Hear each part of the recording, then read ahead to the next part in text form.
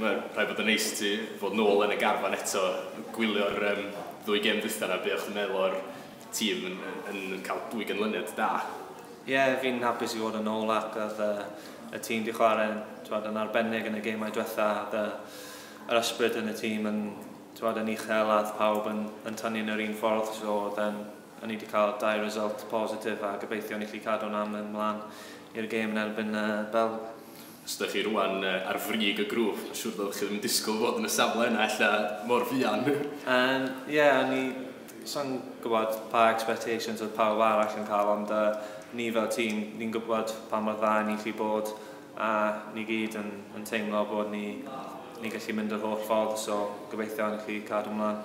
Mm. Ond uh, Glad Belg am y, y gem nesaf, nhw ydy'r ffefryndau yn y grŵp, mae lot yn dweud ydych chi'n teimlo fatha bod yna dipyn o bwysau oddi ar eich sgwydda chi, achos mae nhw ydy'r ffefrynnau cry? Um, na, sa'n credu mae... Twa, ni yn, uh, ni yn top o'r grŵp, ond uh, sa'n credu mae ma lot i ni colli, achos mae nhw mor cryf a mae twa, ma nhw'n credu pedwar yn y byd. So, dim pressure arno ni, a mae just rhaid i ni mynd na a chwarae game ni edrych ar ôl top chwarae nhw fel Hazard a gobeithio ni chi cael result positive. A yeah. disgwyl dros 2,000 o gyfnogwyr Cymru fynd allan yna. Mae'n siŵr bod o'n neis i chi gweld y gyfnogaeth yn dyn ôl a, bod cymaint yn, yn fodlon dilyn chi ei drama yeah. i wylio. Mae fe'n nice i weld y, y cefnogaeth yn, twad, yn, yn tyfu. A uh, yeah, mae fe'n nice i mae pawb yn, twad, yn tynnu i gilydd a mae'r ysbryd yn just yn, yn mynd yn mwy. So, um, yeah, mae, uh, mae pawb yn edrych ymlaen am y gêm o ran y garfan mae'n un eitha cry e, tro tryma lot o chreuwyr nôl yn ffit eto.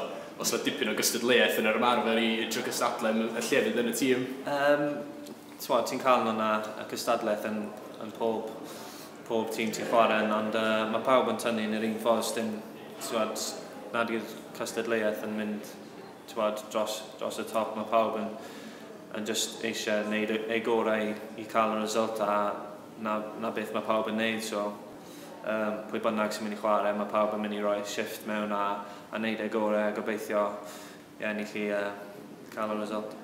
O ti'n teimlo bod chwarae rheolaidd fod y glwb rwan yn, yn helpu ti yn hynna o beth? Ie, uh, yeah, mae chwarae pob wythnos a yn, twad, yn pwysig i, i twad, fel improve a, a am chwr, uh, ar y personal note. So, um, yeah, gobeithio bydd hwnna'n rhoi fi yn good, steady i chwarae yn dda am, am, am Cymru. Pob lwc dydd syl.